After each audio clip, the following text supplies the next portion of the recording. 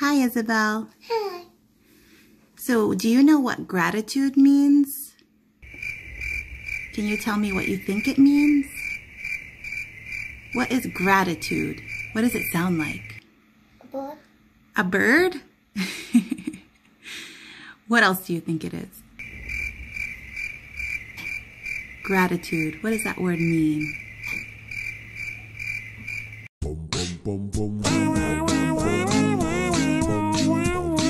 Tell me, what is gratitude? Uh, I don't know. Gratitude, when you're grateful for something. Um, gratitude means um when you're grateful for something, and for example, I'm grateful for friends. Grateful for something. Yes, and what are you grateful for? I'm grateful to helping my friends To helping your friends? And what else? and and, and also coming back and playing. For having shelter. For having a house, family, and I'm alive.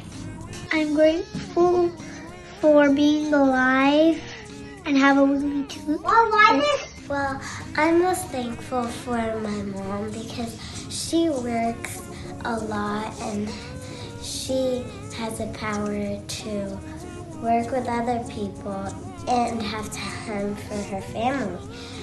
So she helps the people that are poor and homeless. She she has made a difference for a lot of people and she's a hero for a lot of people, just like she's a hero for me. I'm grateful for helping my mom.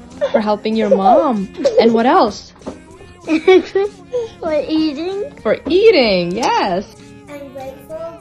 Allah subhanahu because he gave me a healthy life, a house, and a family to live.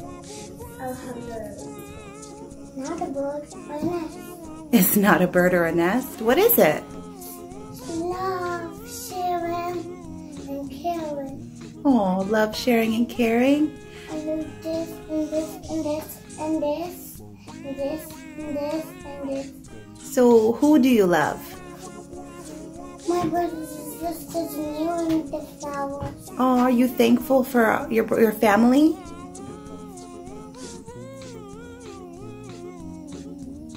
Are you sleepy?